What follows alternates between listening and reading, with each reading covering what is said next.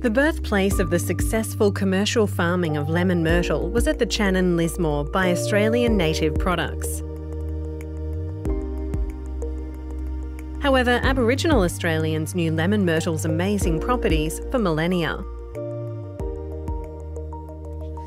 The story of lemon myrtle is an absolutely remarkable story.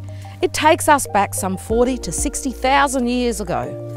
That's how long my people, Indigenous Australians, have known the secrets of hundreds of native plants, flowers, seeds and grasses, and in particular, the native lemon myrtle plant.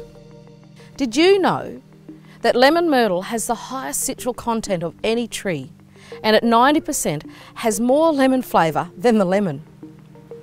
It was also used by my people in medicine for its powerful cleansing properties. Although classified by botanist James Backhouse in the 19th century, until recent decades, lemon myrtle remained virtually unnoticed, except by Aboriginal Australians. During World War II, it was briefly used as a lemon flavour in soda drinks, but was then used as the green leaves in flower arrangements until the late 20th century. That's when a group of true visionaries realised lemon myrtle's extraordinary market potential.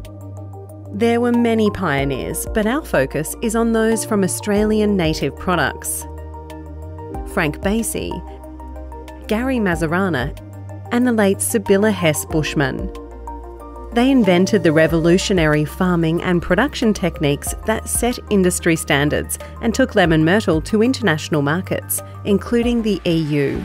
Our priority when we formed the company was to grow the best possible product we could, also was to implement the best possible practices, not only agronomic practices, but practices with producing high quality product.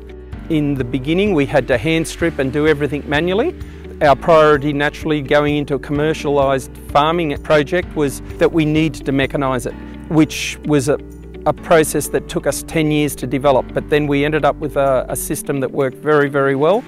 It was pretty much state of the art. No one else in the world had that technology and that's what made us successful in so many other ways because it wasn't just because we were trying to grow the best trees possible, but it was also we had the best possible stripping equipment which gave us the capacity to get our yields up.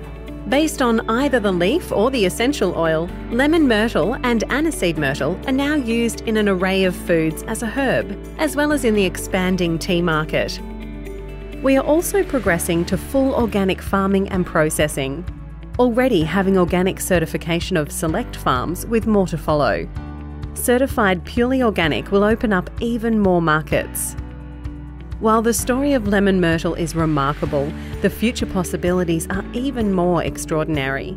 We are leading the industry towards a very bright future, which will benefit both the Australian community and the health and well-being of humanity.